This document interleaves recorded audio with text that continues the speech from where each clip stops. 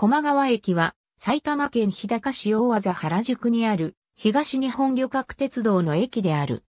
当駅の所属線である八高線と当駅を終点とする川越線の分岐駅となっている。八高線は当駅を境に八王子方面が電化、高崎方面が非電化となっており、運転系統が分断されている。また、川越線も電化されており、川越線の川越方面と八高線の八王子方面で当駅を経由して直通運転が行われている。2015年3月14日のダイヤ改正で日中時間帯の川越線の運転本数が見直され、該当する八王子発川越行きの列車に関しては当駅での時間調整が廃止された。また、八高線には当駅から青梅線を経由して、中央線直通で東京駅との間を結ぶ電車も朝の上りと夜の下りに設定されている。なおこの直通列車は車両に表示される種別に関わらず、ホームの電光掲示板には普通東京と表記される。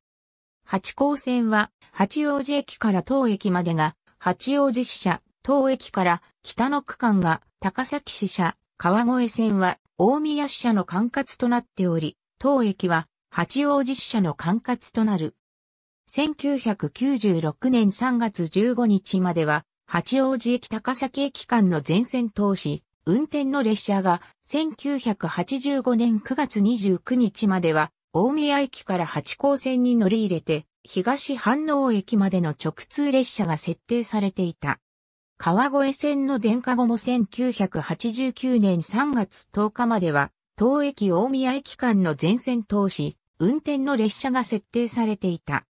駒川駅付近空中写真単式ホーム一面一線と、島式ホーム一面二線を持つ地上駅。駅舎は単式ホーム側にある。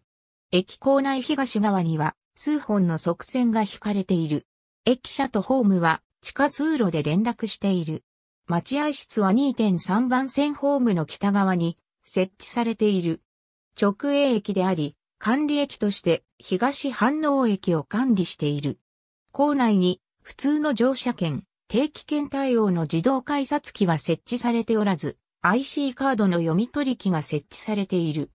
トイレには、川瀬見て洗い館という愛称がつき、ホームと駅前広場に挟まれており、男女別になっているものの、ホームと駅前広場に壁が設置されている。2017年現在、利便性向上のための東口開設や橋上駅舎化が検討されている。また、2013年4月1日に、古線橋とエレベーターの新設、ホームのかさ上げ、待合室の移設によるバリアフリー対応工事が完成した。2019年度の1日平均乗車人員は4483人である。